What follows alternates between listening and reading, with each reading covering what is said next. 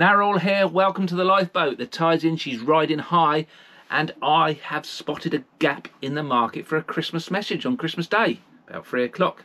If you build it, they will come. JJ, you got some explaining to do. Well, the thing is, I don't follow any religion, so I've had to borrow things from here, there, and everywhere, and to bring a message of hope and joy and love into our lives. And on the 25th, the sun starts coming back towards us from its southerlymost point in the south. If you live in the north, it's coming to its apex on the summer solstice, each day bringing more light, more love with every passing hour. So, I've got with me a piece of obsidian to represent the root chakra and the grounding and the darkness of the winter.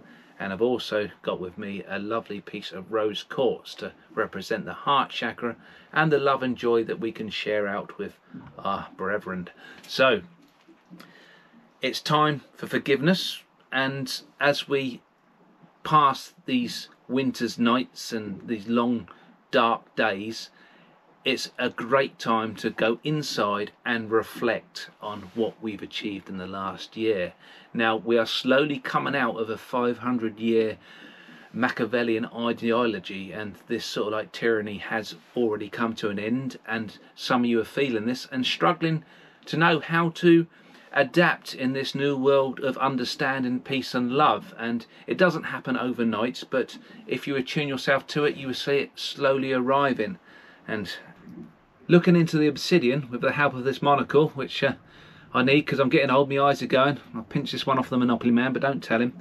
I can definitely see in the reflection there is tolerance, understanding, and humility. So I think it's important, whilst accepting there are going to be differences within our shared reality, we imagine in our minds the yin and yang symbol rotating as we come out of the darkness into the light, whilst appreciating there is always a spot of dark within the light and a spot of light within the dark.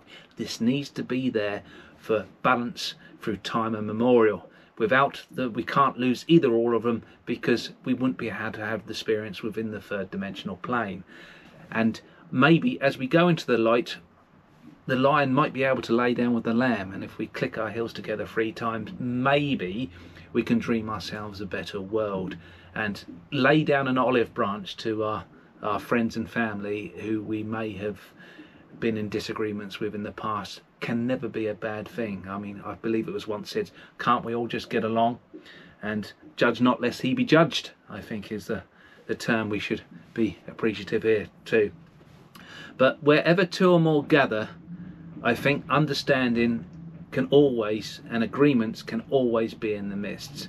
And as we look into the mirror, mirror on the wall, I think it's time that we forgive our trespasses and maybe forgive those who trespass against us because that is what is important. We mustn't lose these ancient teachings to a lack of space within our memory. It's very important. So, this it's been wonderful to communicate with you. My first ever Christmas message to you all. So, welcome to the lifeboat and a very Merry Christmas, one and all.